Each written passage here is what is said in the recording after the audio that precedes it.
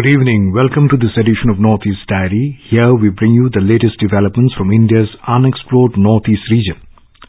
Friends, in today's edition we'll take a look at how the music industry in Nagaland is shaping up. We will also hear how saffron is slowly beginning to be grown in Sikkim. In the Personality of the Week section, we bring you an interview with Padma Shri Yeshi Dorji Thongchi. Beautiful Mizoram is a bird watcher's paradise. In a heritage section today, we shall talk about the avian diversity in Mizoram.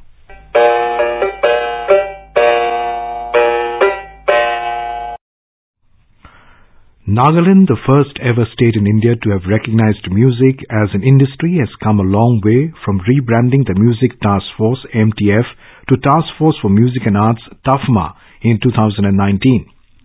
Since then, TAFMA has been in action with a keen eye on how to promote the artists in Nagaland, whether in choirs, singer-songwriters, filmmakers, painters and more. Also, the appointment of Theja Meru as advisor to TAFMA last June has especially been instrumental in shaping up an even more vibrant music industry. Since Theja Meru, who himself is a well-known musician in Nagaland, took over the TAFMA, there has been several exciting things for the music fraternity and significant collaborations. A most recent one among these is signing a memorandum of understanding with Music Connect Asia. As organizational partners, TAFMA and Music Connect Asia will jointly work towards promotion of artists related to music from the region of Nagaland at international platforms. Let's hear it from Theja. Well, uh, this is indeed a, a wonderful uh, initiative taken both by TAFMA and uh, Music Connect Asia. Uh, as we, all of us are aware that under the Music Connect Asia's umbrella, there are 50 country members and the Music Connect Asia is also made up of major festivals and festival directors. So this puts Nagaland in a very good light and, and also a wonderful opportunity has been created to expose and also take through this uh, medium our Naga artists uh, to perform and also to highlight what's happening in Nagaland, to music expos and symposiums around the world. With 51 countries and several world-class festivals under the umbrella of Music Connect Asia, this newly forged partner will help spread the rich cultural heritage of the northeast of India within Asia and beyond. The two parties will also jointly organize music summits, music expos, and other music related events that will help in growing and adding value to the existing music and arts ecosystem of the state of Nagaland. In its continued effort to help the artist community, particularly during the COVID-19 pandemic lockdown wherein many of the livelihoods are being affected for the lack of platforms to showcase their works, TAFMA helped sell several of the paintings worth over 6 lakhs of rupees. The Musician Incubation Program or simply known as MyPro is one of its latest initiatives. Through this program, serious musicians from across the state of Nagaland are being identified and given the challenge of learning 100 cover songs and will be further trained on the basic of performance. Besides its many wonderful initiatives, TAFMA also has KM Music Conservatory as its knowledge partner in its endeavor to build knowledge. Dr. A.R. Rahman has personally come forward to help in this regard. TAFMA continues to create new vistas and opportunities for musicians in the state of Nagaland to grow beyond its border. For Northeast Diary, this is Asonyo from AIR News, Kohima.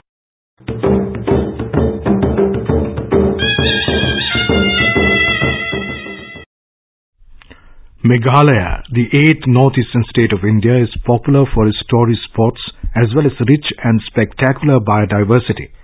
Its rich cultural and ethnic heritage and exotic presence of flora are an appealing factor for an immense opportunity for medical tourism.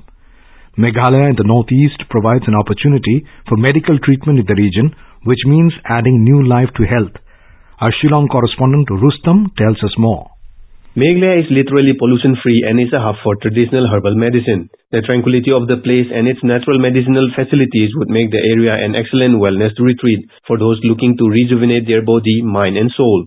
Meghalaya government in 2010 drafted the Meghalaya State Tourism Policy to promote herbal tourism in the state. The policy states that Meghalaya has immense potential in this segment and can be a leading player in health and wellness tourism where professionally designed programs can be started and delivered like yoga centers, Ayurvedic rejuvenation treatments, besides other. Since then, the Northeastern Institute of Ayurveda and Homeopathy, based in Shillong, which is an autonomous health institute under the Ministry of Ayush, Government of India, has been training and enhancing the medicinal skills of indigenous people of the state. As part of the approach to make the state a preferred medical tourist destination, existing herbal medicine center will be promoted in a regulated manner, which will be an important component of wellness tourism. Dr. Abhishek Bhattacharjee, head of Department of Panchakarma of the institute, has to say about making Meghalaya a medical tourist destination and what the institute is up to. We are developing ourselves to cater in a better way to the people who are coming from the state and also who are coming from outside the state and outside country also. Actually, we were just planning to, talk with the state tourism uh, department, but due to this uh, COVID pandemic, this uh, total procedure was in a pause now. But obviously, because the pandemic situation is resolving and whenever we are open, we should try our level best to make this institution because this is a national institution and this is a try to make this a hub to cater for the medical tourism in a better way in future. In due course of time, with sincere efforts from the government of Meghalaya and the Northeastern Institute of Ayurveda and Homeopathy, the state could one day in the near future become a preferred wellness tourist destination. This is Rustam for Northeast Diary from AIR News, Shillong.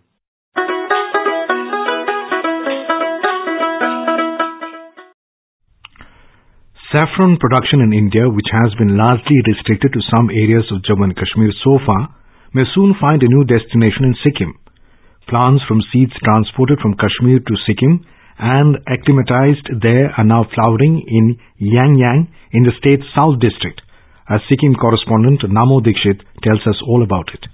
The possibility of saffron cultivation in Sikkim was jointly explored by the Northeast Center for Technology Application and Research under the Centre Government's Department of Science and Technology and Sikkim University. Experts from the university's horticulture and botany departments conducted trial cultivation at the Sikkim University campus at Yangang, South Sikkim in September 2020. Experienced farmers from Kashmir transported more than 100 kgs of saffron bulbs and closely monitored the cultivation. Pradeep Singh from Kashmir, who is the project director of saffron cultivation in Yangang, South Sikkim, speaks about the project. Three months ago, we have started a trial project of saffron cultivation in Sikkim. The saffron was traditionally cultivated in Kashmir and now it's successfully cultivated in Sikkim also. And in upcoming time, we will try to explore more areas. It will be the life-changing thing for the people of Sikkim and also it will give a good exposure to the tourism department. It will be a good thing. Tourism entrepreneur Rabin Basnet speaks about integrating the saffron project with tourism. I'm a tourism entrepreneur and I have also been working as a activist for tourism, rural tourism in particular. And, uh, you know, recently we have discovered that uh, saffron cultivation is possible in Yangang. So this could be the first time that, you know, saffron has been successfully experimented outside of Kashmir. Having sat uh, for a meeting with uh, Pradeep Singh, who's heading this project in Yangang, we believe that uh, we can integrate tourism and saffron cultivation and bring something, a unique flavor to this new destination that we are trying to develop. And that is what, uh, you know, we've been working on at the moment. So that is basically what could make this destination unique. Saffron being a very high valued uh, plant, we can attract domestic and international tourists through saffron cultivations. According to export farmers, the size, color and quality of saffron plants as well as flowers in Yangang are very similar to those grown in Kashmir, boosting chances of successful cultivation in Sikkim. While detailed scientific evaluation and commercial viability assessment are awaited, flowering of saffron plants in Yangang has already lifted aspirations of tourism stakeholders in Sikkim. With Saikat Sarkar, this is Namo Dikshit for Northeast Diary from AIR News, Sikkim.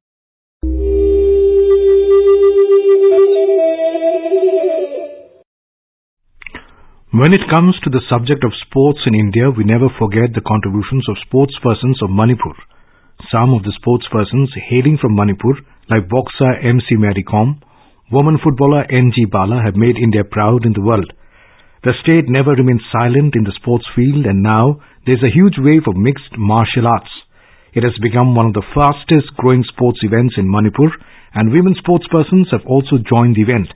Here is a report of this new sports euphoria from our Imphal correspondent JJ Thokchom. Mixed martial arts MMA is a full contact combat sports combining the tactics of kickboxing, wrestling, Muay Thai and other martial arts forms. MMA has become one of the most popular sports in the world and the tournament Ultimate Fighting Championship UFC is known to everyone. The Super Fight League and Matrix Fight Nights are also popular in India. With the increasing of popularity of these events, many youngsters of Manipur now started training as MMA fighters. The web has further increased in the state after the state fighter Roshan Mainam created victory in the recently held One Championship. One of the trainer of MMA fighter in Manipur and international gold medalist in kickboxing and Frank Mangang said that the popularity of MMA began from 2017 onward in Manipur MMA Manipur में 2017 को पहला MMA का जो club खोला, वो club का नाम है के एम एम एस सी और मणिपुर में इतना ये मशहूर हो चुका है कि हर जगह से अभी के एमएमए सी में लड़का लड़की आके अभी पार्टिसिपेट करना शुरू कर एक फाइटर को उसका परफॉर्मेंस दिखाने का पूरा मौका इसी एमएमए पे ही मिलता है, क्योंकि इसमें डिसीज़न वगैरह सब क्लियर होगा। बहुत अच्छा फ़िल्म बनता है इस एमएमए लाइन पे और आगे जाता है उस उनका गरीबी पूरा दूर करता है। Women sportsperson have also joined training as MMA fighters instead, leaving other martial sports. Some of them have already clinched medal in national tournaments and it created good impression among budding sportsperson. Speaking to Northeast Diary, national gold medalist Jojo Raskumari said that she never disheartened on choosing the MMA मैं पहले kick boxing खेलती थी, पर मैं ऐसा sports में नाम रखना चाहती हूँ, जो लोगों को लगता है कि लड़कियों के लिए खेलना मुश्किल है। इसलिए मैंने मिक्स मार्शल आर्ट चुना। मैं अभी तक दो बार चैंपियन बन चुकी हूँ। मिक्स मार्शल आर्ट ऐसा एक स्पोर्ट्स है, जिसमें सबसे ज़्यादा मेंटल और फ़िज़िकल फिटनेस चाहिए, क्योंकि इसमें हर तरह का मार्शल आर्ट इंक्लूडेड है। Despite being tough even, interest among the women sportsperson in MMA has once again shown the equality of gender in sports and effort to bring more development of the sports event in Manipur. For AIR News Northeast Diary, JJ Thokchom from Imphal.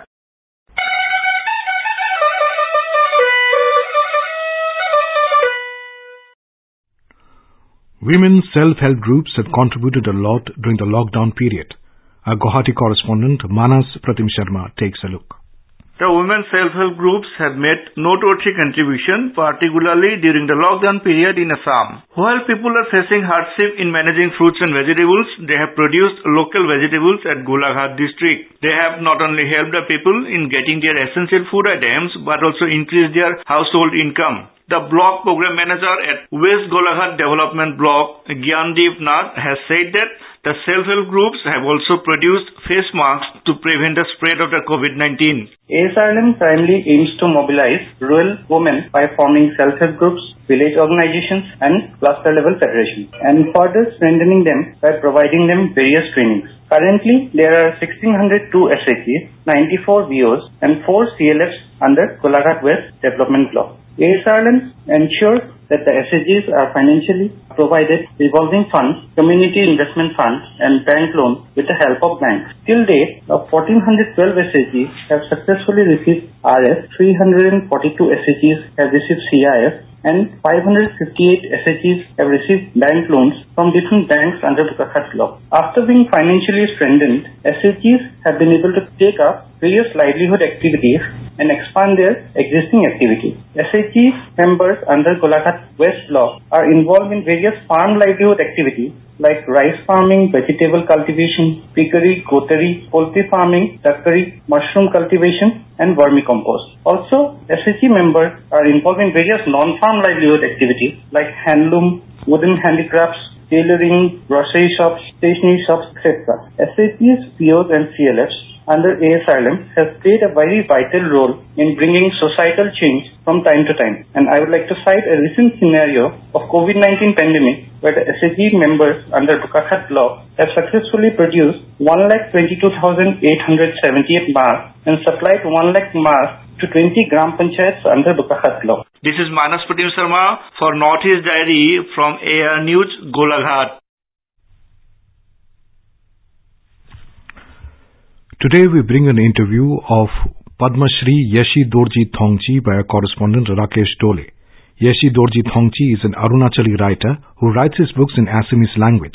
He is the recipient of India's highly prestigious award Padma Shri 2020 for his work in the field of literature and education. He is also the recipient of Sahitya Akademi Award. Mr. Thongchi was recently conferred the Sukapha Award, an award instituted by the Assam government. आप सभी को north east diary में स्वागत है। आज हमारे साथ है अरुणाचल प्रदेश के जाने माने साहित्यकार श्री यसे दरजे थोंसी जी। आइए हम बात करते हैं यसे दरजे थोंसी जी से, जिसको हाल ही में आसाम सरकार ने सुकाफा अवार्ड से सम्मानित किया है। नमस्ते सर। आपको असम सरकार का सुकाफा अवार्ड से सम्मानित किया गया है। आपको अभी कैसा महसूस हो रहा है? और ये अरुणाचल प्रदेश और आपका लिटरेरी जो ज़िंदगी या सफ़र है, उसमें कितना मायने रखते हैं ये अवार्ड? सुकफा पुरस्कार जो मुझे मिला है, मुझे बहुत ही अच्छा लगा क्योंकि ये एक गवर्नमेंट ने दिया है, एक राज्य का गवर्नमेंट ने दिया है असम गवर्नमेंट ने दिया है। तो जब राज्य सरकार या देश का सरकार किसी को सम्मानित करते हैं, वो सम्मान बहुत बड़े होते हैं। किसी एक इंस्टीट्यूशन या अनुष्ठान के सम्मान से ज़्यादा वो सम्मान होते हैं। इसलिए मुझे अच्छा लगा। और ये जो सम्मान जो है मेरा साहित्यिक रीति के वजह से ही नहीं है। देश का जो यूनिटी इंटीग्रिटी उसकी वजह से भी ये पुरस्कार दिया जाता है। तो मैंने शायद देश का एकता में देश को एकजुट करने में कुछ अवदान दिया होगा जिसका स्वीकृति असम गवर्नमेंट ने दिया होगा। सर आपने सही बोला है कि ये लिटरेरी अवार्ड नहीं है जो सुकापा अवार्ड है जिसको असम सरकार ने इसको समन्वय के नाम पे दिया गया है, ऐसे ही बोला है कि आप अरुणाचल में रहते हुए भी असामीज लैंग्वेज में शुरू से ही लिख कर आए हैं और ये असम अरुणाचल में आपका जो लेखा है, आपका जो साहित्य उपन्यास है, ये सबसे दोनों स्टेट के बीच में एक समन्वय की वातावरण हुआ है, ऐसा महसूस करके शायद आपको दिया हुआ है। तो ये सुकाफा के साथ सुकाफा अवार्ड के लिए आपको चुना गया है, यही बहुत बड़ा बात है। और यह सब लोग जानते हैं कि आपने ये सब अरुणाचल और असम के बीच में एक सेतु बन के, एक ब्रिज बन के उतरा है और अभी तक काम कर रहे हैं। सर, आगे का सफ़र क्या है सर आपका?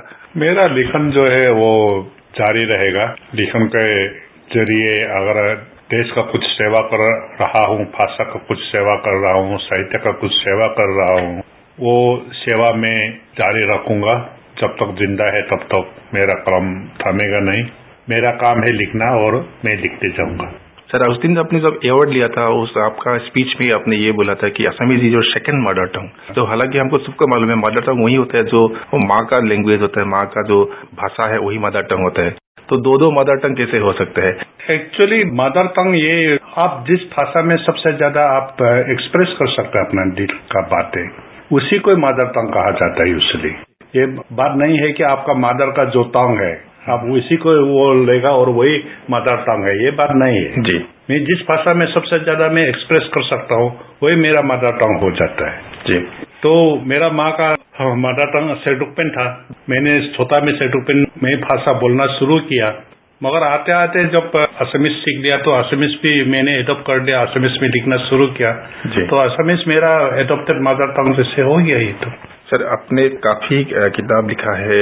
Sir most of the books Arunachal की कहानी और अरुणाचल की दृश्यपद्धि में ही आपने लिखा है। तो ये असम और अरुणाचल के बीच में क्योंकि आसामीज लैंग्वेज में लिखने के बाद उसका रीडरशिप ज़्यादा असम से ही होता है। लेकिन कहानी जो पढ़ते हैं अरुणाचल की पढ़ते हैं। तो आपने जो अरुणाचल को एक वाइडर जो रीडर्स है ज़्यादा जो पाठक है किताब उनके लिए लेके जा रहा है। तो ये बड़ा कंट्रीब्यूशन है ही। तो आगे आपको क्या लगता है कि आपने जो किया है इससे थ्रू योर लिटरेरी वर्क्स आपका साहित्य कर्मों से बाकी असम और अरुणाचल का जो रिलेशन है तो आगे जाके इसका इम्पेक्ट होगा या हो रहा है तो ऑलरेडी हो ही रहा है। इम्पेक्ट तो ऑलरेडी हो रहा है। असम का बहुत लोगों ने अरुणाचल के बारे में सीखा है। अरुणाचल का जीवन शैली कैसे है? अलग अलग जनजाति का अलग अलग जीवन शैली कैसे है? संस्कृति कैसे है? मेरे लिखन के थ्रो से और लुमेडा का लिखन के थ्रो से उन लोगों ने जाना है अप्रिशिएट किया है। और खाली असम का ही नहीं है, अभी ये जो मेरा किताब दूसरा दूसरा भाषा में भी अनुवाद हो रहा है और उन लोगों को भी अभी उसका ज्ञान हो रहा है। तो इसी के थ्रू से क्या होगा कि अरुणाचल को मैंने ज़्यादा एक्सपोजर दिया है? जो एक्सपोजर एक प्रबंध लिख के एक आर्टिकल लिख के नहीं दे सकता है। आर्टिकल में क्या होता है कि लोग वो जो है सूखा रोटी के जैसे है। जी। अगर एक उपन्यास लिखेगा एक कहानी लिखेगा वो जो है सूखा रोटी के साथ आपका मीट मछली डिश सब लगा हुआ है। जी। ठीक इसी तरह मेरा उपन्यास मेरा कहानियाँ जो है वही काम कर रहा है। तो लोगों ने अरुणाचल के बारे में और अच्छा तरह से अंदरूनी अंतर में जाके अंदरूनी कैसे चलता है जीवन उसको लोगों का नॉलेज हुआ है। जी।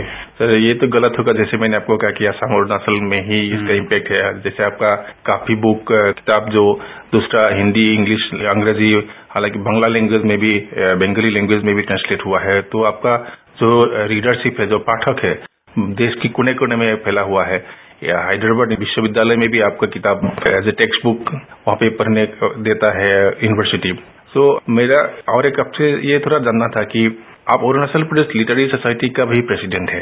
तो ऑलरेडी पूरा देश भर में आपको सब लोग जानते हैं, साहित्य अकादमी का भी आप मेंबर हैं वहाँ में। तो through Arunachal Pradesh literary society तो आगे जाके अरुणाचल प्रदेश का लिटरेरी को प्रमोट करने के लिए जो नया राइटर है, उन लोगों के लिए आपने कुछ कुछ काम किया है, हमको इससे सुनने में है।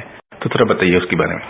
हाँ अरुणाचल में साहित्य के बारे में कुछ आदमी लोगों का ध्यान नहीं था। साहित्य किसे बोलता था? लोगों को कुछ मालूम नहीं था। लेखक क्या होता है? ये जानवर होता है कि आदमी होता है? अरुणाचल का आदमी को मालूम भी नहीं था। उसके बावजूद जो नया जनरेशन है, हम लोगों का स्कूल कॉलेज में जो पढ़ रहा है, उन लोगों का बीच में एक जागरूकता था। उन लोग लिखना चाहता था। उन लोग साहित्य सृष्टि करना चाहता था।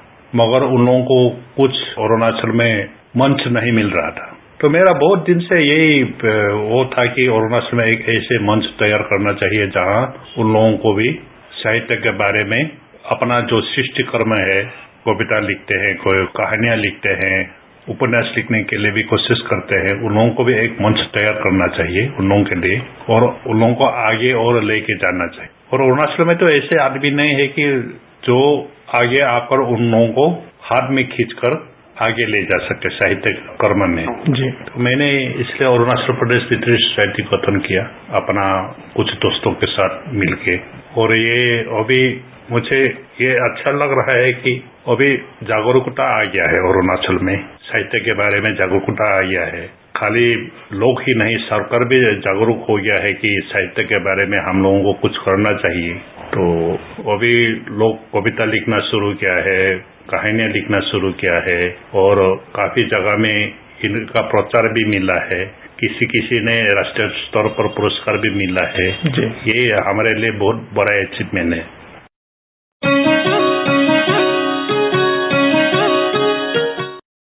चलो मिलकर एक शुरुआत करें। चलो एक फैसला आज करें। मात नहीं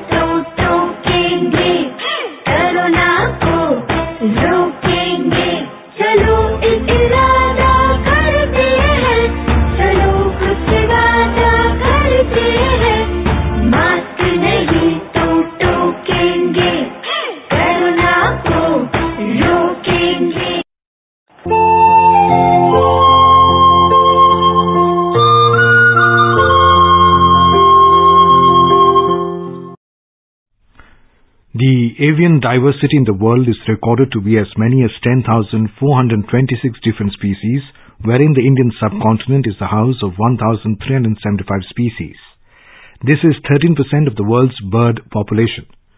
According to a report, India had the availability of 1,349 species of birds only a few decades back.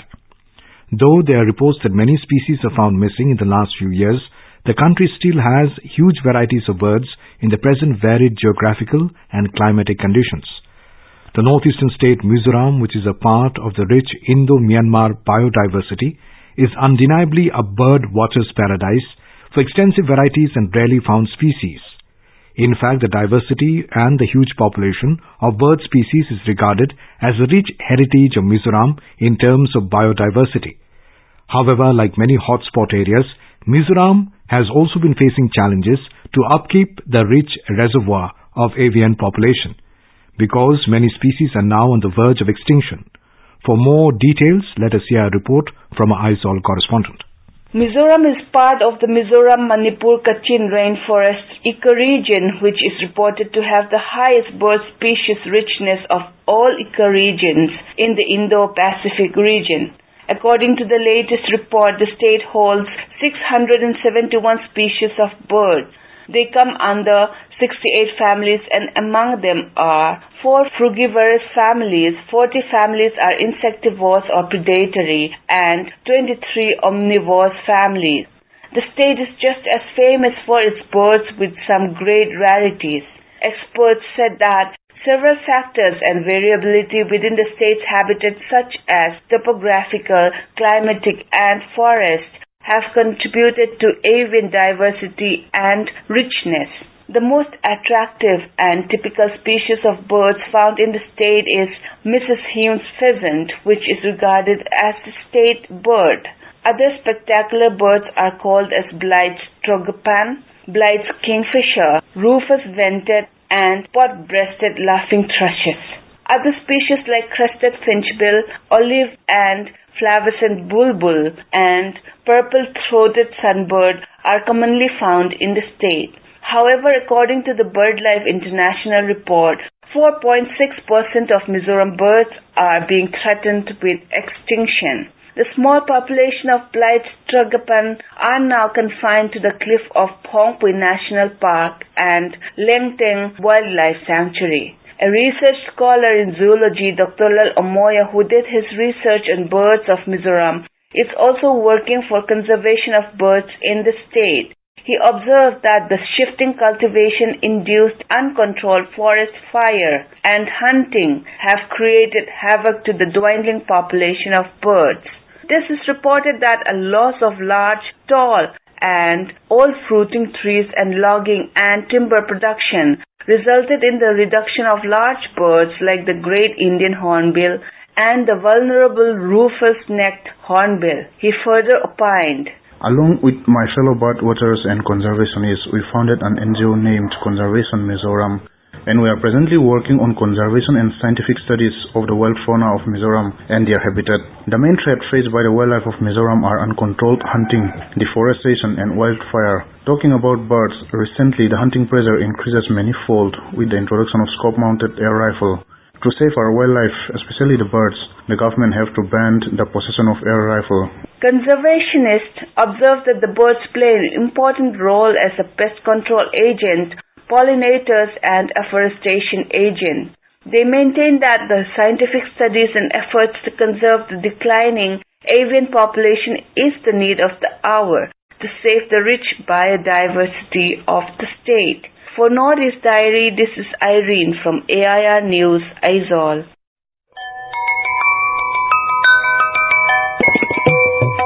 Get accurate, reliable and wide coverage of news, tune into AIR News 24-7 and FM Gold and listen to the major bulletins at 8.30 a.m., 2 p.m. and 8.30 p.m. in English and 8 a.m., 2.30 p.m. and 8 p.m. in Hindi of half an hour each.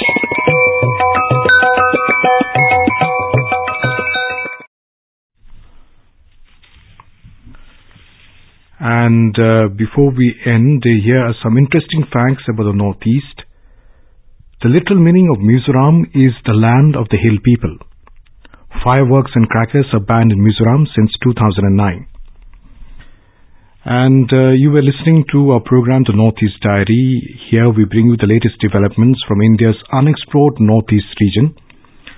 And uh, I hope you like the program. Do write in to us with your comments and suggestions at News Services Division, All India Radio, New Broadcasting House, Parliament Street, New Delhi 110001. With that, we come to the end of this edition of Northeast Diary. Do join us next week to hear more stories from this enchanting part of India. Bye bye.